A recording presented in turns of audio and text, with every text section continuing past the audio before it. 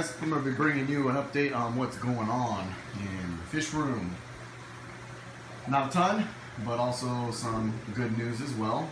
Um, the corals that I added, the SPS corals that I added, are doing fantastic, which is telling me that uh, we might be ready to start moving some of the colonies in, maybe. Um, the Aura Joe has started to encrust the plug some. Uh, nothing really marvelous happening here on the green slimer, but that one's a slow grower anyways. That one started off as a frag, like, very, very, very, very, very tiny. Like, the size of a nerd. um, and I mean, it took it about four months to get that big there. So, it's a, it, that one particularly is a slow grower. The other ones kind of grow quick, but that one there has been a struggle anyways. Um, but the Aura has been starting to color up pretty good and it is encrusting the plug. So, I'm excited about that, but I'm not going to start rushing things and jumping right into it all. Um, still going to take my time. All the Acans are doing really good. The Blastomussa, Blasto, is uh, starting to grow tons of heads on it. And I see an Aiptasia on there.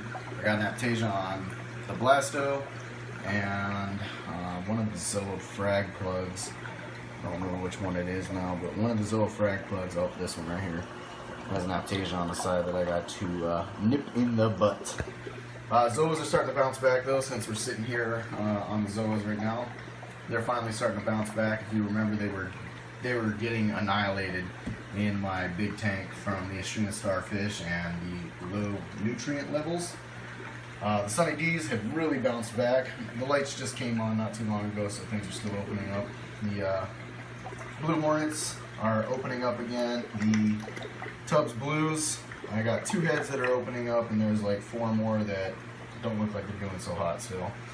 Um, Rastas, they are opening, but they're very, very, very tiny.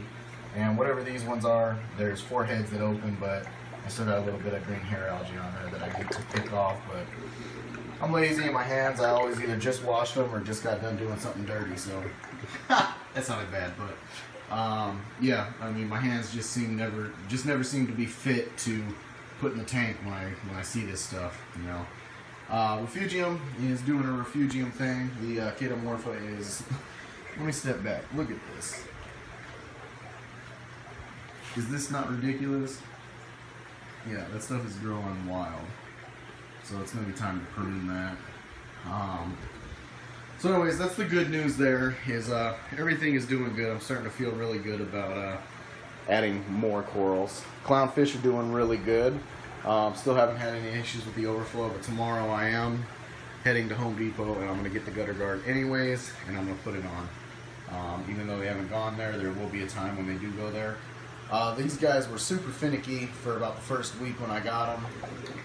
Didn't want to eat, didn't want to come out, they weren't interactive, and uh, they were just getting lethargic. They didn't want to eat, and that was really concerning me. So uh, what I did is I just started to spend a little bit more time inside of the fish room and uh, turning off all the pumps when I put food in there. Made sure where's my where's my big old turkey baster thing?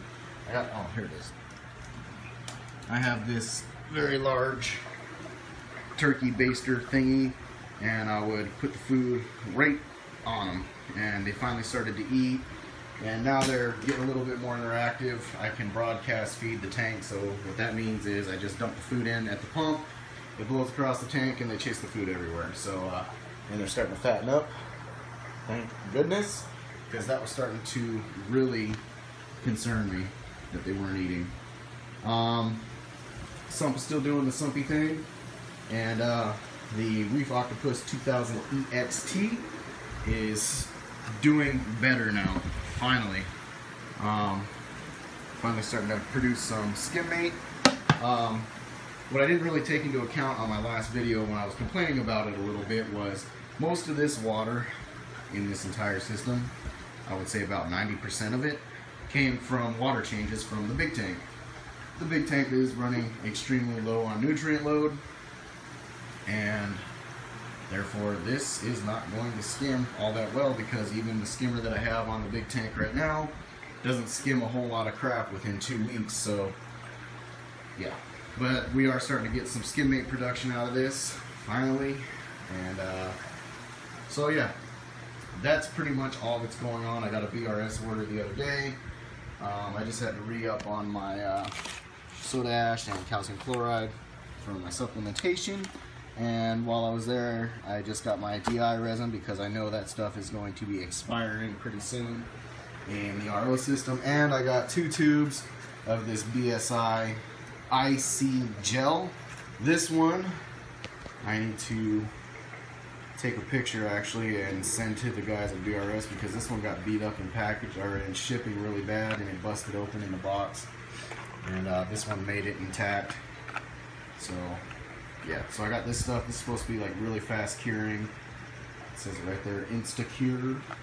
So I picked that stuff up and uh, that's what I'll be using to fix corals on the rock in this tank. And uh, I got a new bottle of this Revive from the LFS. That way I can dip all the corals. I'm to inspect them. Uh, make sure we keep. The only thing I'm really worried about keeping off of the corals is the Astrina starfish. Other than that, if the bubble algae makes it, well, the Astrina starfish and the Aiptasia.